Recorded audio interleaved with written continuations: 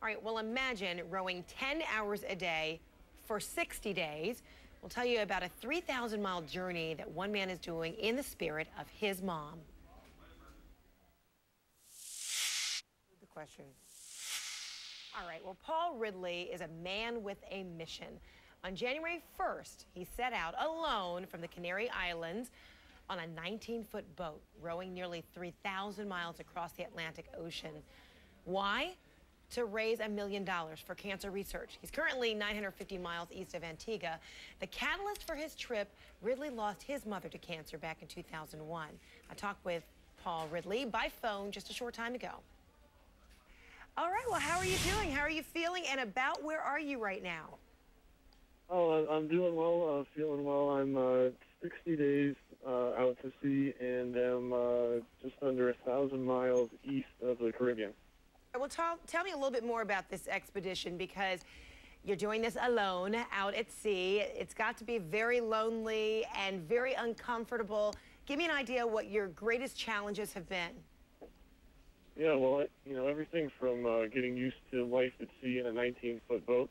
Uh, that includes uh, five straight days of uh, seasickness, which was not too much fun. Oh. Uh, you know, eating nothing but freeze-dried food for uh, two months now.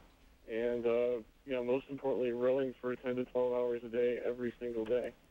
Wow. And you trained for this quite extensively, right? I mean, something like three years and heavy training. You put on a lot of weight because you knew that you'd be eating that astronaut food and probably losing a lot of weight with all this rowing.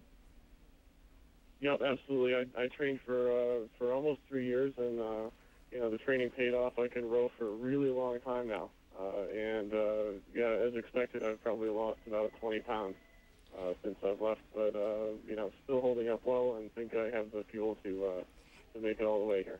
And, and while I mentioned it must be very lonely out there, at the same time, you kind of are keeping some dialogue going. At least you're you're talking with all those friends that have been reading your blog on soloroad.blogspot.com. What have you been talking about in your journey, and how does this kind of keep your head in check, your sanity in check, and make up for all the time that you are spending alone rowing?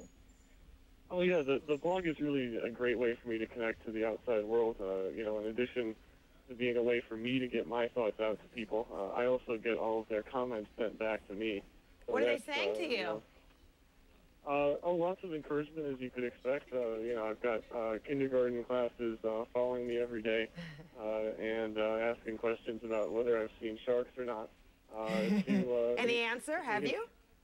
Uh, I haven't seen sharks. I, I think I've seen just about everything else. Uh, lots of fish, dolphins, uh, whales, uh, you know, all sorts of birds. Uh, you know, lots going on out here. You're calling this Row for Hope. This is a project you and your sister founded together, really in memory of your mom who died of skin cancer uh, back in 2001. How much are you thinking about your mom along this journey?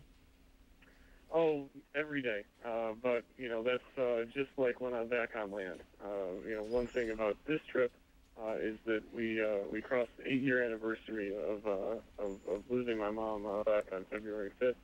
Uh, and, uh, you know, you're right. This is really uh, one great big tribute to her. Well, that's a, a, colossal feat, a huge tribute. And I know she's looking down on you and smiling as well. All right, Paul Ridley, thanks so much. All the best to you. Incredible journey and uh, what a colossal feat that you are carrying out. All the best to you. Stay safe. And we look forward to talking to you along the next three weeks to see how it all ends up. Paul Ridley, thanks so much.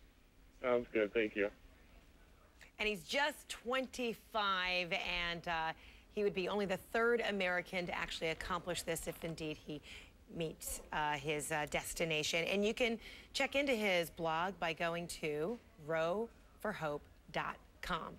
We'll be right back.